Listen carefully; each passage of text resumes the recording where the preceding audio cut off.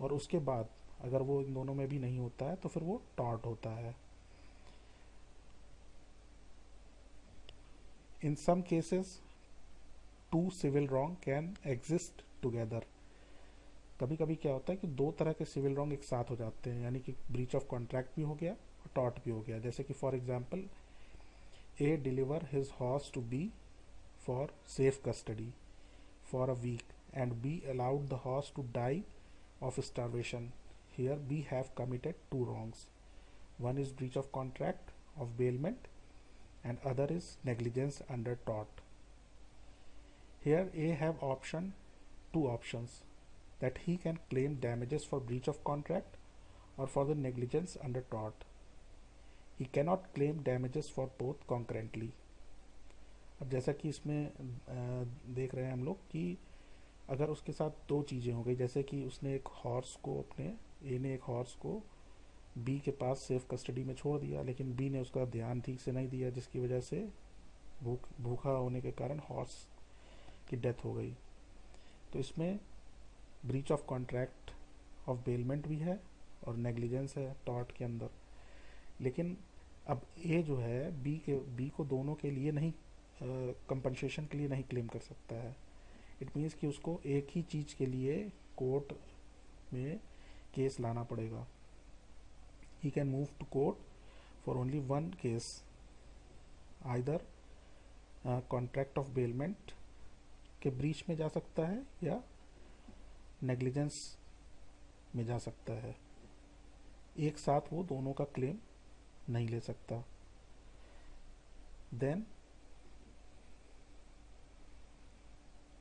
हमारा तीसरा एलिमेंट जो है, वो है remedy is an action for unliquidated damages remedy मतलब नुकसान की जो भरपाई होती है, वो अनलिक्विडेटेड डैमेजेस के फॉर्म में होती है. अनलिक्विडेटेड डैमेजेस जैसा कि पहले भी बताया था मैंने, कि इसमें जो है प्री डिटरमाइंड कोई भी चीज़ नहीं होती. यानी कि इसमें जो है जैसा कि लिखा हुआ है liquidated damages means damages which are predetermined agreed by the party normally breach of contract में जो है डैमेजेस लिक्विडेटेड होता है अनलिक्विडेटेड डैमेजेस जो कि कोर्ट द्वारा डिसाइड होता है unliquidated damages means damages decided by the court it is an discretion of the court. Unliquidated damages are paid by wrongdoer to the injured party in case of tort. Liquidated damages जो भी तय होता है court के द्वारा, वो जो गलत करने वाला रॉन्ग डूअर है, वो पे करता है किसको? ग्रीव्ड या इंजर्ड पार्टी को। Now we will learn nature of taught the nature of taught can be understood by distinguishing between taught and crime taught and breach of contract और ट्रस्ट तो सबसे पहले हम देखते हैं टॉट और क्राइम में क्या डिफरेंस है। टॉट जो है प्राइवेट रॉन्ग है it belongs to individuals while crime is public wrong it belongs to society at large taught is less serious crime is more serious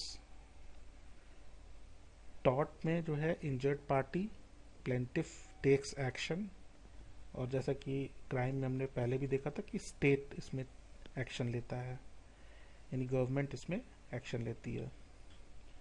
taught civil proceedings होते हैं civil court में, और crime के case में criminal proceedings होता है criminal court में।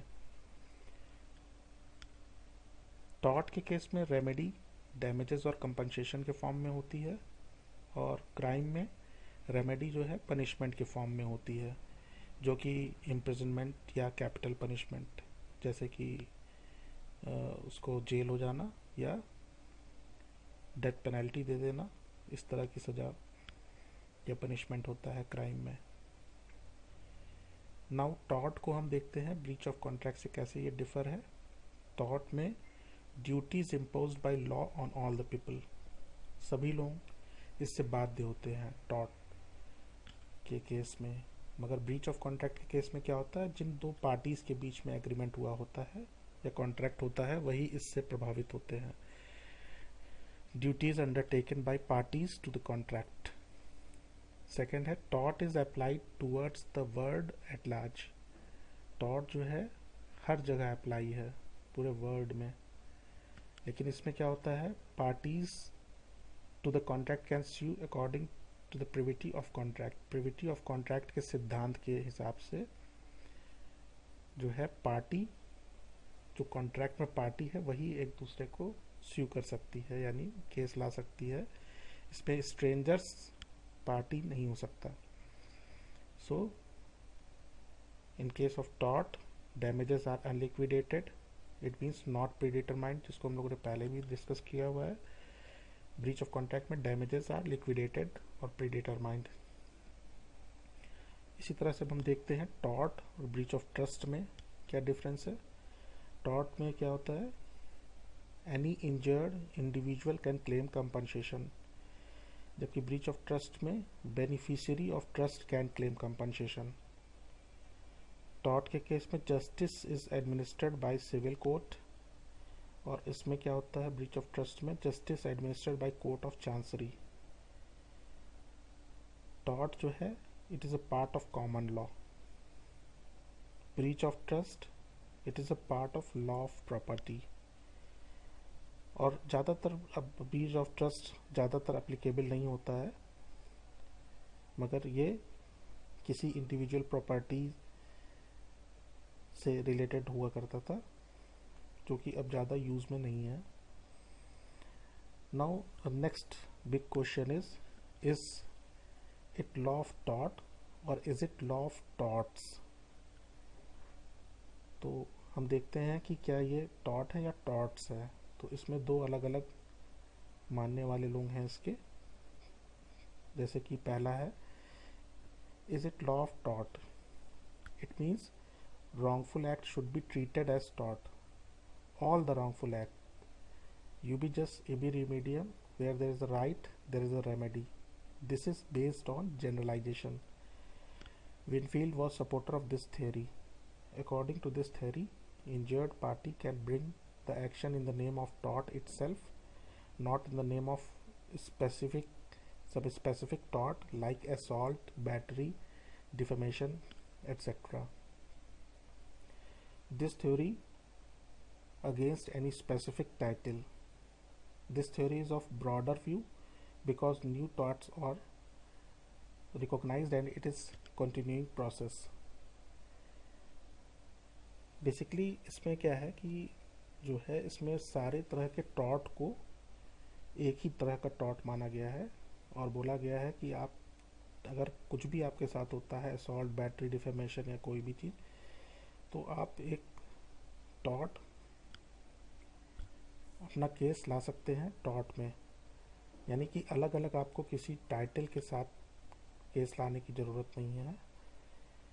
इसके इसके अगेंस्ट में दूसरी थेरी जो है, वो कहते हैं कि ये टॉट्स अलग अलग हैं। यानी कि सबके टाइटल्स के हिसाब से अलग अलग जैसे कि it means there are only a number of specific wrong beyond this person can not be held liable Salmon preferred this theory. According to him, every tort have a specific title and every tort belongs to pigeonhole. Injured party or plaintiff can bring action only if uh, wrong belongs to any pigeonhole. If wrongful act does not belong to any pigeonhole, then he cannot bring action. This is also known as pigeonhole theory.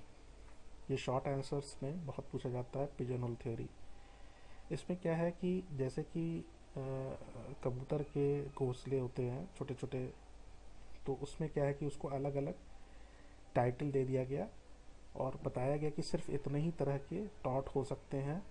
अगर इसके अलावा किसी taught में आ, कोई भी चीज़ होती है तो वो टॉट में कवर नहीं होगी।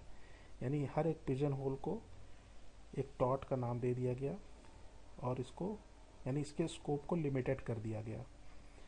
तो in conclusion we can say both the views are correct it is only the angle by which one is observing in broader view it is law of taught and in narrower view it is law of torts so in conclusion जैसे कि हम लोगों ने देखा कि broader view में it is law of taught and in narrower view it is law of torts thank you please uh, like this video and uh, don't forget to subscribe this channel. It is totally free. Thank you